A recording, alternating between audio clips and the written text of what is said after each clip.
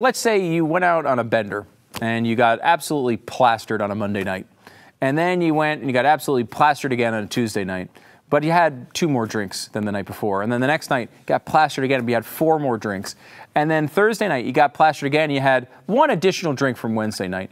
And then on Friday night, you had plastered again, and you only had two additional drinks from Thursday night.